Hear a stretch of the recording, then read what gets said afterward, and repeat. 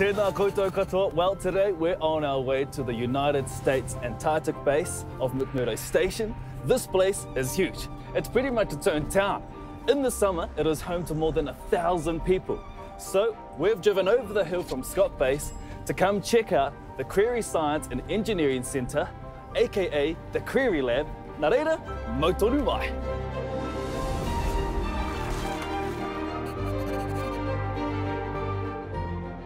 Here we are at the Crary Lab. That's this building behind me over here. This place was named after glaciologist and geophysicist Albert P. Crary.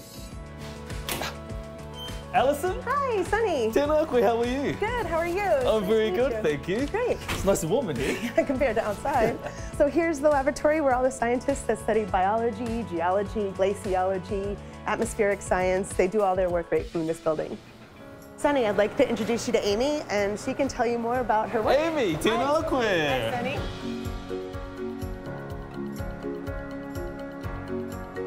So tell me, what are you doing here?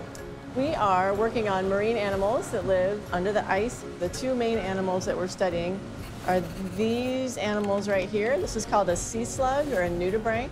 A nudibranch is a snail without a shell that crawls around on the bottom of the ocean. And because they don't have a shell, they need defenses from things that would eat them. And they have poisons in their body oh, that Oh, wow. would poison a fish or something that tried to eat them. Because I'm holding it now, am I going to get any of its no, poisons? just don't eat it. Right, okay, just Don't don't, eat eat it. it. Okay.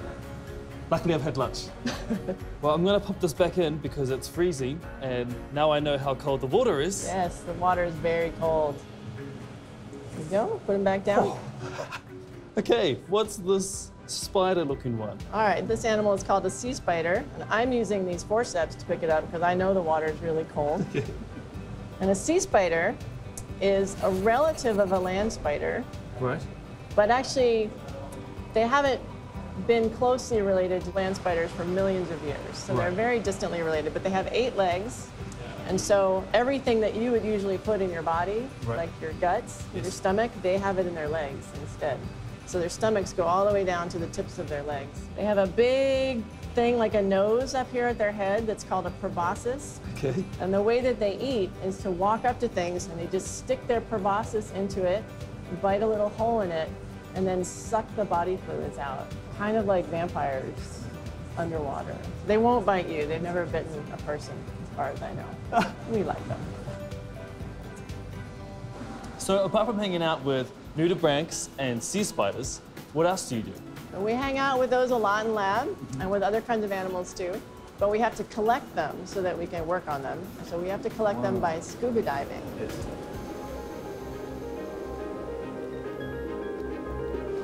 It's very cold. Oh, it would be. You ever had an ice cream headache? Yes. Yeah? Oh, immediately, everywhere. but you get used to it, and it's really beautiful.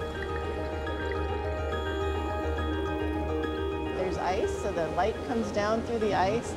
It's like being oh. under a giant crystal with light coming through it. So the reason that we're collecting these big adult animals is mm-hmm. because we're studying their babies. Right. And the babies are with the adults. This is our wet lab. This is mm-hmm. where we study the animals and we bring them in. They're Antarctic, so they have to be cold all the time. So this is actually a refrigerated little table here that we keep the water on to keep them cold. And then this here, this beautiful animal, is a sea spider, but he's upside down. And these two little clouds of like look like fuzz that mm-hmm. are under him right there are babies. Probably got like a thousand little babies on there. And they develop until they're old enough to live on their own, and then they just drop off. Oh, whoa, yeah. Yeah, they're all like hugging each other. Yeah, that's how they stay on dad. They just grab onto each other. So why are we focusing on the babies? Well, these really early stages of animal development are often very sensitive to small changes in the environment. They don't have a lot of defenses, and so we're really concerned about how small changes in the environment here in the Antarctic may change how they do when they're growing up. And if the babies can't grow up, then the species can't survive. So climate change is going to play a big role in the development of these guys. We think it might. Well then, let's go talk to someone about climate change. Tēnā koe, Anne, how are you? I'm doing well, Sonny. How are you? I'm very good, thank you. So tell me, what's this? Okay, so this um, sort of spaghetti of tubing is um, our experimental setup. And what we've done here is we've kind of simulated what the oceans are going to look like in the next sort of 80 years from now. Wow. So in each of these buckets, we have fish. And so these different little baby fish Oh, wow, yeah. are being raised under either um, ocean warming conditions Mm-hmm. or different CO2 scenarios. And what do the different colors mean? Well, so green, this is good to go. This is right now. Right. This is yellow, so it's a moderate kind of scenario. And this is our worst case scenario. This is red. This is stop.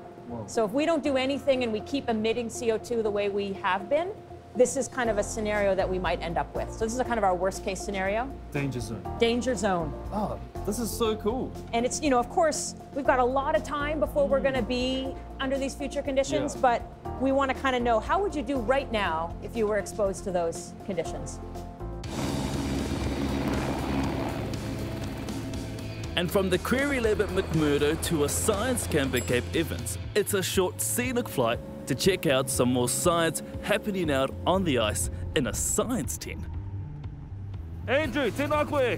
Sonny, how are you? I'm good. Well, freezing actually, but it's good to be here. Tell me, what are you doing here? Firstly, welcome to Cape Evans. Thank you. What we're doing here is climate change science. And how about we go check it out? Yes, please. Let's go.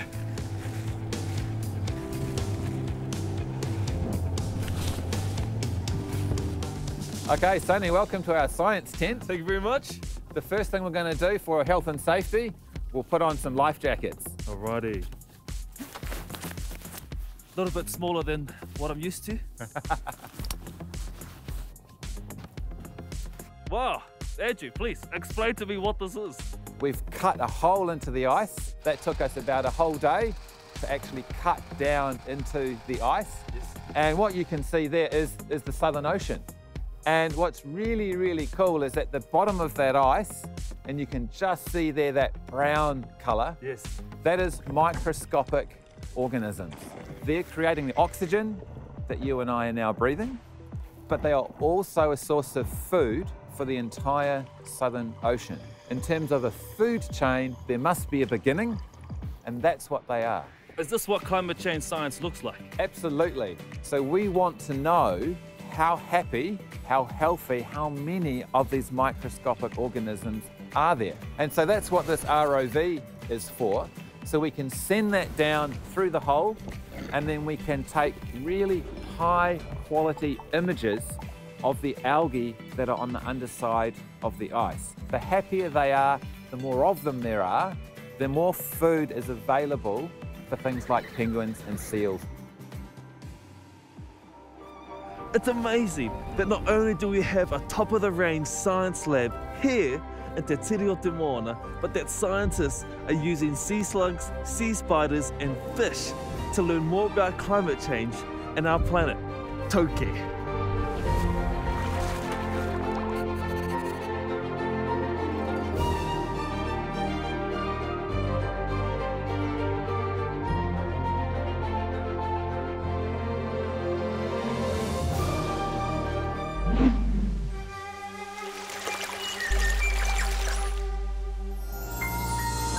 街のメヒにずいのね。